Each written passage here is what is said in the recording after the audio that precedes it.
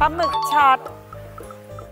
บรรยากาศสวยมากเลยนะคะ ไม่ต้องไปไกลถึงใต้เลยนะคะ ตรงนี้ก็โอเคแล้วค่ะ อาม่าเดินไปเล่นได้ด้วย อาม่าใส่ชุดกระโปรงสั้นเตรียมพร้อมเลยนะคะเนี่ย โอ้โห ดีมากเลย สวยค่ะสวย โอเคนะคะ ตอนนี้อาม่านะได้ที่นั่งแล้ว โอ้โห เป็นเตียงสบาย วันนี้อาม่ามาเปลี่ยนบรรยากาศ อากาศดีมาก น้ำใสจริงๆนะคะ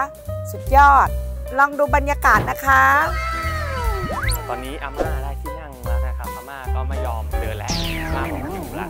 ขอนั่งพักผ่อนครับ ตรงนี้นะครับหาดวงอมาอยู่ที่พัทยาเหนือนะครับ